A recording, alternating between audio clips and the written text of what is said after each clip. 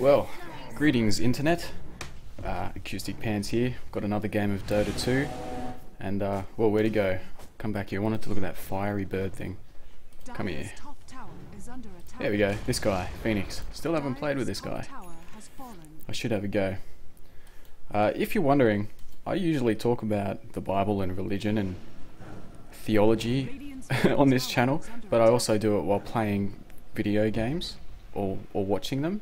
And the reason for that is because I just like both things and I don't really see the need to separate the two. And uh, if I'm ever boring to listen to, it, at least it's interesting to watch a game. Ooh, check out that courier. That's a cool courier. So I'll just let this run for a while and uh, talk a little bit more about my absolute favorite book of the Bible, which is the book of Revelation. Uh, as far as as far as confusion goes, for Christians and for critics of the Bible, uh, this book probably takes the cake. It makes it makes zero sense to most people, and for good reason. It it just doesn't make sense, and the reason is because it's it, it, this book uh, is is a genre which doesn't exist anymore. It existed for a few hundred years either side of the time of Jesus of Nazareth, and in the Roman Empire or in the in the Greek Empire to begin with, and then the Roman, and now kind of doesn't. Uh, originally in the Greek, this book was called the Apocalypse, which is just Greek for Revelation, so we call it Revelation today. Uh, if you've never read it, it kind of goes like this. If I just flick through my Bible and and check the subheadings, oh, does it give me? Uh, no, this Bible doesn't give me subheadings. We'll use this one. Dire's top tower is under attack. Dire's top tower is under attack. Whoa, what a team fight. Oh, I should be watching that. Wind Ranger's gonna die. Come back here. Nope, no one died. How could you? Dire's bottom tower is under attack. Hmm. Oh well. Cool, cool. Now let's see. So, so if you've never read the book before, Dire's bottom tower. Basically it just goes like this. So written by a guy called John, as far as we can tell, lived in Asia Minor, Turkey, um, possibly, possibly uh, around the turn of the first century, probably a bit before. So it starts off with um, a letter to seven churches in Asia Minor, and they're not really letters; they're just a few paragraphs of what this guy has to say to them. Churches like one in Ephesus, Smyrna, Thyatira, a bunch of other places.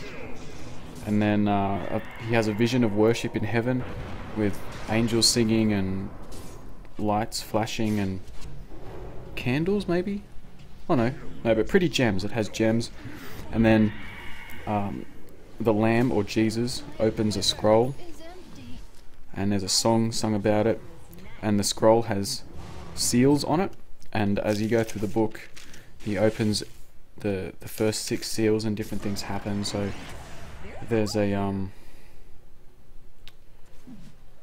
What happens when he breaks the first seal? Or when he breaks them, so these different spiritual events happen, and statements are made, and the horsemen appear, uh, and then there's this thing about 144,000 are sealed from the tribes of Israel.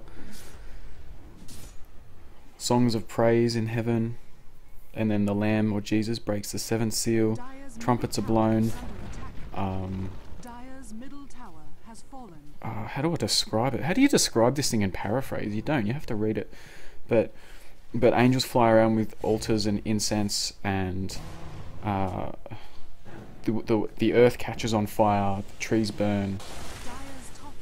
Uh, lots of fire in this book. Lots of fire and blood. Things die. Stars fall from heaven into the ocean. Let's see. More trumpets. I'm only up to chapter nine. There's twenty something chapters. Then there's then there's two witnesses who prophesy against the evil of the world, and then the world kills them because they don't like being judged. And then there's the woman and the dragon, and the woman gives birth, and the dragon tries to eat the child, but God whisks the child and the mother away. Um, then there's the beast out of the sea and the beast out of the earth who rise up against God's people. bottom tower is under attack. What else? The harvest of the earth, where God takes the righteous from the wicked. The seven plagues of the earth. What else? Oh, yes, the great prostitute, the mighty whore, whom the kings of the earth laid wi- lay with her to gain their power and wealth. The fall of Babylon. Let's see what else. Songs of victory in heaven. Ah, yes, the thousand years in Revelation 20. Actually, this might have been the last video I did, Revelation 20. Most of the videos on this channel are all about this book. I I thought I'd try and talk about lots of theological topics and um, lots of patches of the Bible and uh, lots of things. Uh, No, I just keep coming back to this book because I like it and I want to talk about it and I've got a lot to say about it. And then and there's the final judgment, the defeat of Satan The New Jerusalem is is formed or comes to earth. The return of Jesus, the restoration of humanity and the earth, and the ultimate glorification of God. And that's basically the book. If you haven't read it, you should read it. It's really cool. But don't try to interpret it unless you happen to be, you know, a literary historian with a PhD, which I am not. I just read what these people have to say. So that's that's the book in a nutshell. And the funny thing with the Bible, wow, check that out. Sorry, the funny thing about the Bible, I'll come back to that in a minute. Look, these guys, 20 points up to 5 at 17 minutes in. That's a slaughter. Jesus. Damn. Well, anyway, moving on. So with the Bible, it's. I've noticed this funny thing that's happened. Uh, like today, those of us who access a Bible usually do so with the whole. Bible. Like we buy the whole thing, or we look at the whole thing, and it's really 66 books in one, written by a lot of different authors over hundreds of years, or thousands really. And uh, but because it's it's a compilation of books, we we kind of lump everything together and we start to interpret one book like all the others. So there's poetry and history and letters, and there's proverbs, kind of like Aesop's fables, I guess. Then there's creation stories and prophecy, and in this book, which is uh, what you would call apocalyptic, so we think of it. Christians might call it a prophecy, and it, and it, like yeah, it is, but it's also another genre known as apocalyptic writing, which doesn't exist anymore. So this funny thing happens where we kind of interpret everything the same way, and we apply the same view to most texts, and you you can't, you shouldn't do that. I understand why we do it. It's because we don't know any. Like most of us aren't trained in literary criticism. I'm not. Uh, we're not.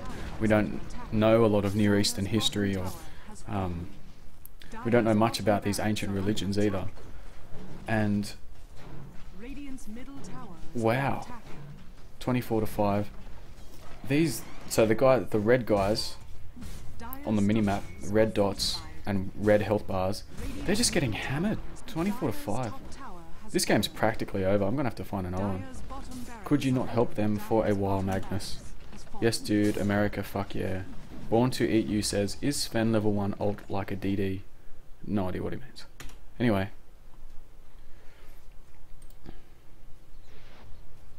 Hmm. Well, that's a thrashing. So, anyway, you just you just can't interpret each book the way you look at others, and that that makes common sense to to when I say that now. But it's it's hard not to when you don't know when you haven't had literary or historical training. So, for example, if I look at two books by uh, Gordon Fee and Douglas Stuart, the How to Read the Bible books, you don't. I don't think you need a PhD to to know God or to experience spiritual revelation. You do need a PhD to understand everything that's going on in this ancient book. Uh, now, I'm not a pro at this by any means. I don't pretend I am. I just like to talk about the work of people who are. So, for example, the basic, basic stuff about this particular genre. They've got it out here in point form. So, for example, a Christian a Christian prophecy cast in apocalyptic style, already mentioned that, and imagery finally put in letter form, dealing primarily with tribulation or suffering, and salvation for God's people and God's wrath or judgment on the Roman Empire. So, a lot of people read this book and they, they hear the word prophecy, or they see it written in there, and we think this guy's trying to predict the future. Uh, and then, but then what happens is we think, oh, this guy's this is meant to be a prediction of our future today, 2,000 years later. And I, I don't think it is. So, so a lot of scholars and a lot of students would be able to pick up that this book references a lot of themes uh, or a lot of a lot of parallels to the Roman Empire and the Old Testament. I'll get to that in a minute. But it just wasn't written about our future. It was written written by this guy John for his time back then, for for his audience back then, and not not for us now. Damn. So this game should be done in under 25 minutes. Wow, that's quick for Dota 2 or Dota. Damn. Alright, let's find another game. Let's see what's going on. Live games. Tournaments. Oh look, this one's new. Two minutes, three minutes in. Let's watch that.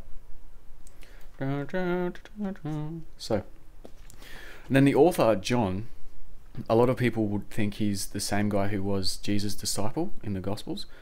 Uh, but reading closely, you'll notice they're quite they're quite different.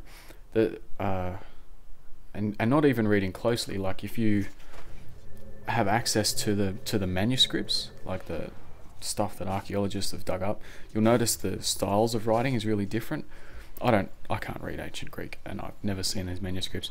But like, there's 66 books in the Bible, right? And they're all written fairly differently, different handwriting, different conjugation, conjugation um, of the words in the text, um, often different, slightly different theology and different emphases on different things. So the Gospel of John and the revelation of John, they, they have to be two very different Johns because their writing is completely different. Uh, and that's and a lot of scholars would agree with that. In fact, in fact, I think there wouldn't be many who don't. Um, it's it's more just people who haven't really been able to to really study in depth that wouldn't know. Um, let's see what else. Written about AD 95. Yep, around the time of the Roman Emperor Domitian. Uh, written to the Roman province of Asia, or the churches in the Roman province of Asia. So that doesn't mean Asia today, as in China, Japan, Singapore, Malaysia, Indonesia.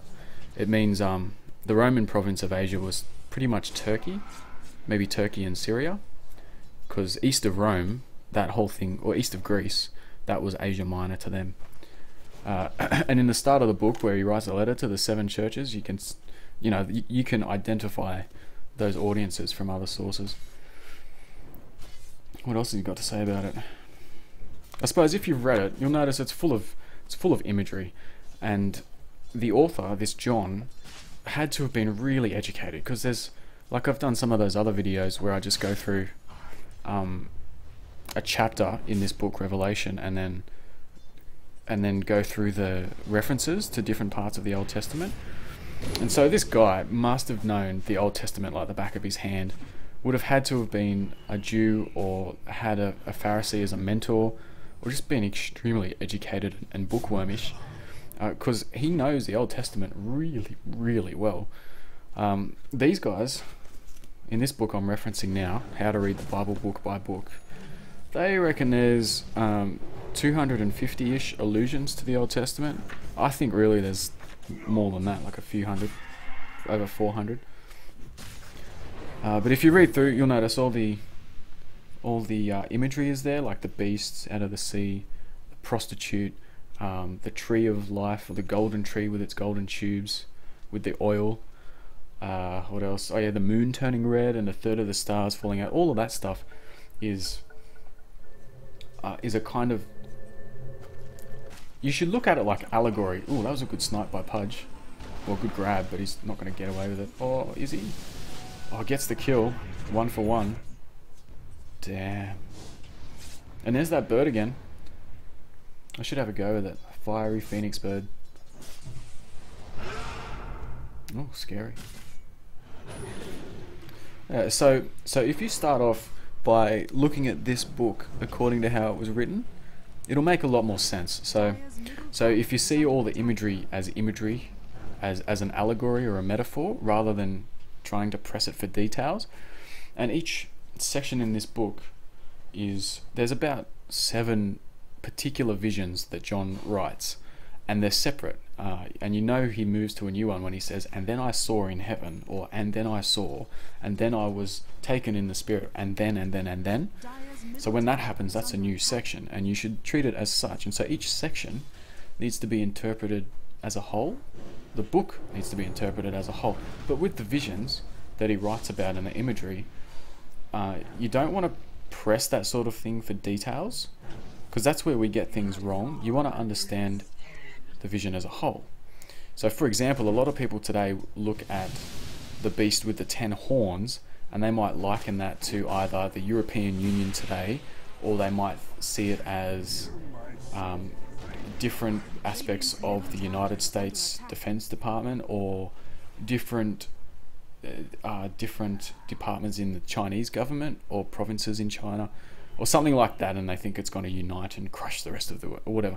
They're, but they're using details in this ancient book to um, to re- they're trying to relate these details to their current political situation or current cultural climate. Don't do that. Uh, take take take it as a whole and try to understand the imagery and understand also that this guy says that these are the words of his prophecy and that statement there is a flag. Oh, where where is the verse? He says it a couple of times. And he says in the words in my words or the words of this prophecy.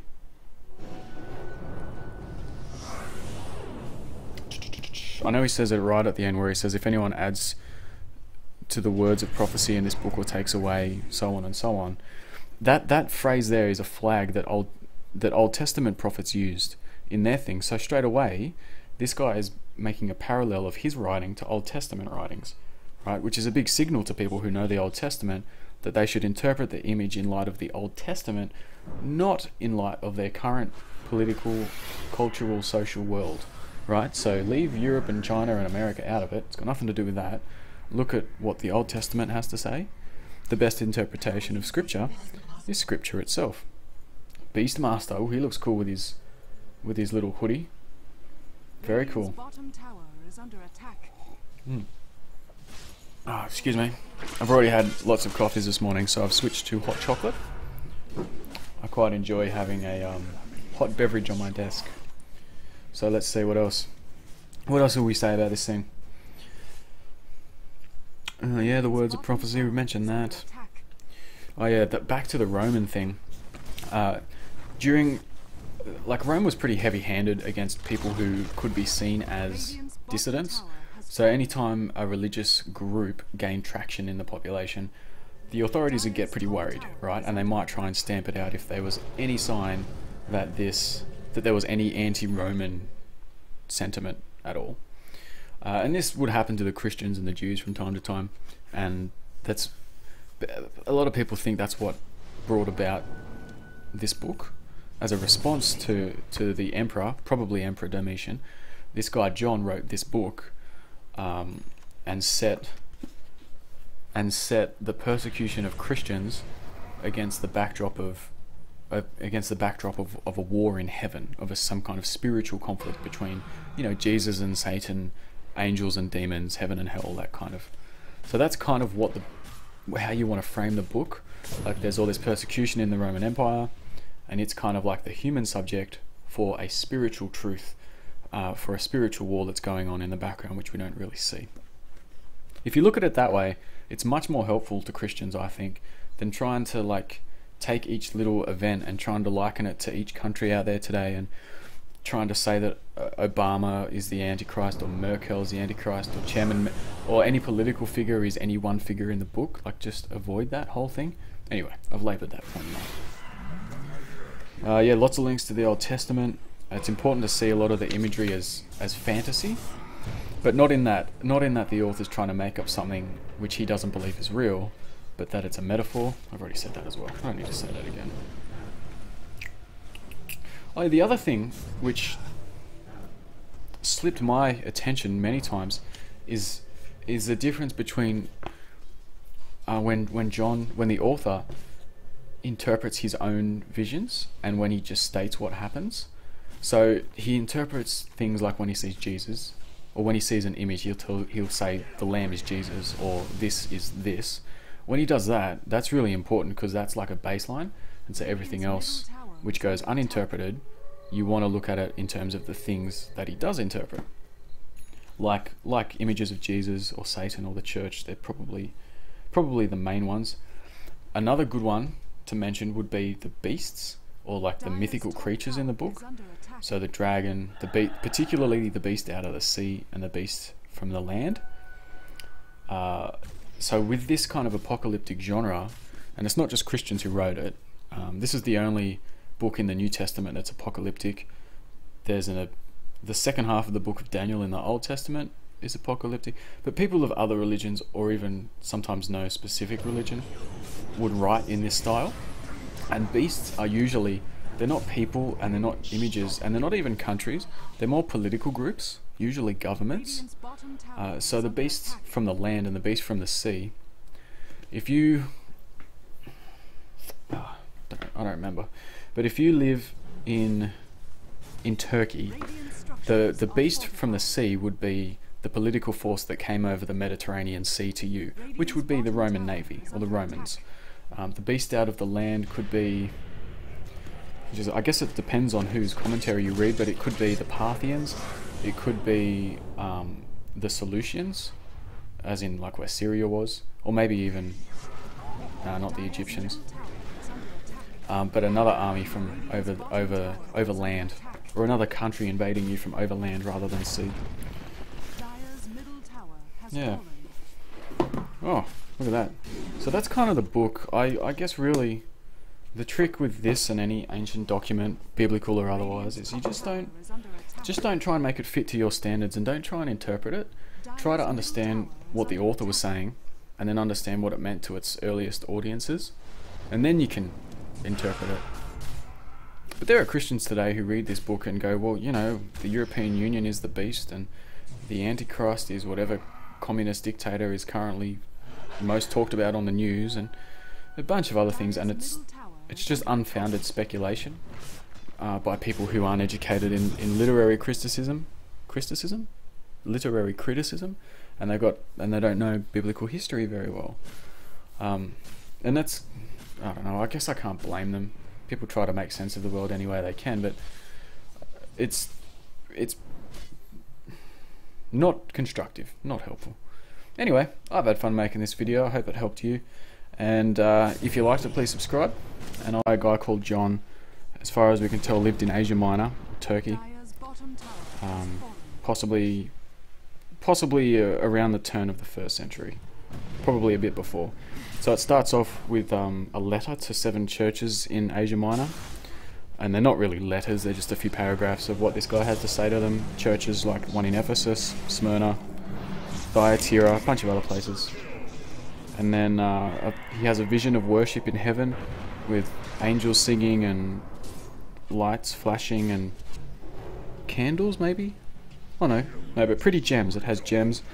And then um, the lamb or jesus opens a scroll and there's a song sung about it. And the scroll has seals on it. And as you go through the book he opens the the first six seals and different things happen. So there's a um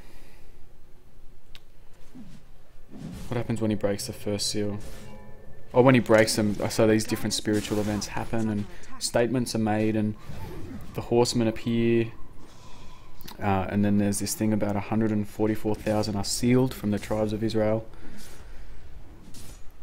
songs of praise in heaven and then the lamb or Jesus breaks the seventh seal trumpets are blown um, uh, how do I describe it? How do you describe this thing in paraphrase? You don't. You have to read it. But but angels fly around with altars and incense, and uh, the, the the earth catches on fire. The trees burn. Uh, my absolute favorite book of the Bible, which is the Book of Revelation. Uh, as far as as far as confusion goes, for Christians and for critics of the Bible, uh, this book probably takes the cake. It makes it makes zero sense to most people, and for good reason. It it just doesn't make sense, and the reason is because it's it, it, this book uh, is is a genre which doesn't exist anymore. It existed for a few hundred years either side of the time of Jesus of Nazareth, and in the Roman Empire or in the in the Greek Empire to begin with, and then the Roman, and now kind of doesn't. Uh, originally in the. Greek, this book was called the Apocalypse, which is just Greek for Revelation, so we call it Revelation today. Uh, if you've never read it, it kind of goes like this. If I just flick through my Bible and and check the subheadings, oh, does it give me? Uh, no, this Bible doesn't give me subheadings. structures We'll use this one. fortified. Dire's top tower is under attack. Dire's top tower is under attack. Whoa, what a team fight. Oh, I should be watching that. Wind Ranger's gonna die. Come back here. Nope, no one died. How could you? Dire's bottom tower is under attack. Hmm. Oh well. Cool, cool. Now let's see. So, so if you've never read the book before, Dire's bottom tower. basically it just goes like this. So written by. Well, greetings internet. Uh, Acoustic Pants here. Got another game of Dota 2, and uh, well, where to go? Come back here. I wanted to look at that fiery bird thing. come here. top tower is under attack. There we go. This guy, Phoenix. Still haven't played with this guy. tower has fallen. I should have a go. Uh, if you're wondering, I usually talk about the Bible and religion and theology on this channel, but I also do it while playing video games or, or watching them. And the reason for that is because I just like both things and I don't really see the need to separate the two. And uh, if I'm ever boring to listen to, it, at least it's interesting to watch a game. Ooh, check out that courier. That's a cool courier. So I'll just let this run for a while and uh, talk a little bit more about